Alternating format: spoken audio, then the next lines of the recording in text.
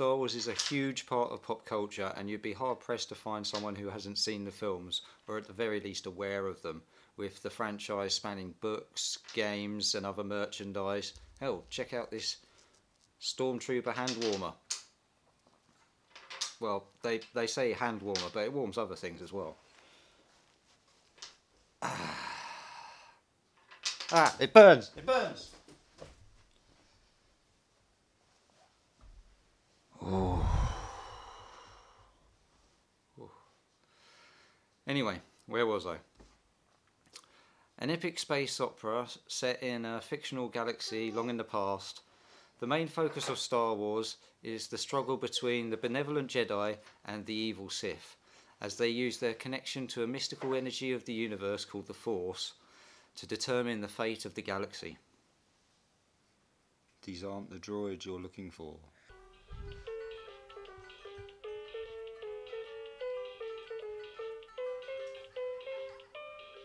There are currently eight films in the series, with uh, a ninth, The Last Jedi, due out in cinemas soon. So let's go through these in release order, the order I would recommend watching them in. This is probably going to take a couple of episodes, so for our first episode, let's have a look at the original trilogy. Rebels have stolen plans that may assist in their struggle against the tyrannical empire, but the ship carrying them is captured so the plans are given to two droids who escape to a nearby planet.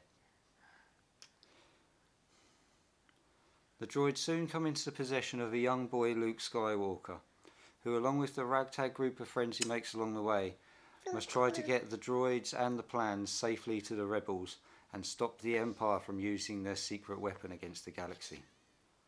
Released in 1977, Star Wars was a global phenomenon and continues to influence pop culture across generations to this day.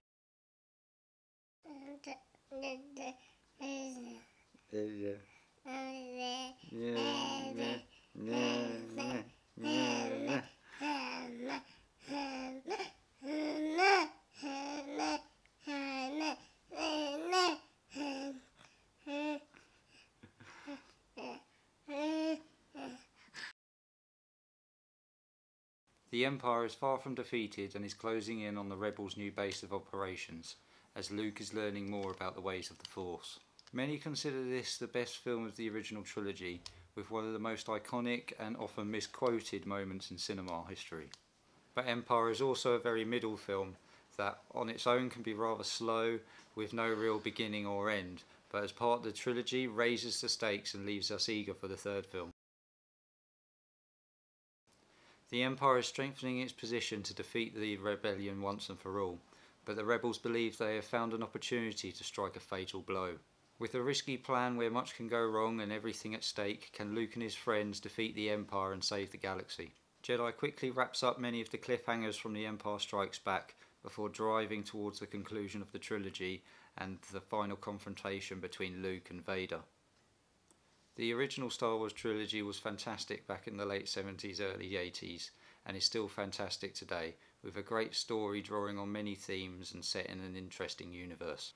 1997 special edition saw extra scenes added and updates made to some of the special effects, but it's worth remembering that much of this is based on the framework that was already there, and the lightsaber and uh, spaceship battles were nothing but astounding in the 80s.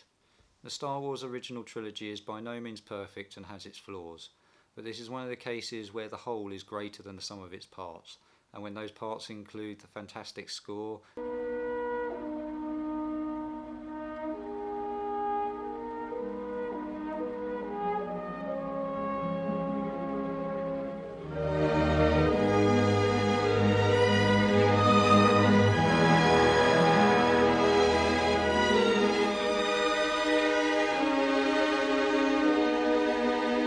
Some of the groundbreaking special effects.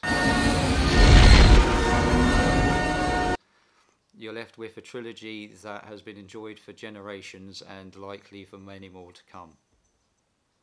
As one of the highest grossing media franchises, Star Wars also helped push sci fi into the mainstream. Star Trek, Stargate, and the slew of superhero films we've had over the past few years owe a great deal to Star Wars. So, Star Wars. Come on, everyone loves Star Wars, but do you have a favourite film amongst the original trilogy? And are you looking forward to The Last Jedi? And most importantly, is anyone available to babysit so my wife and I can go and sit? Let us know in the comments below. And as always, subscribe button here and some of our previous videos here. And we'll see you next time. Bye.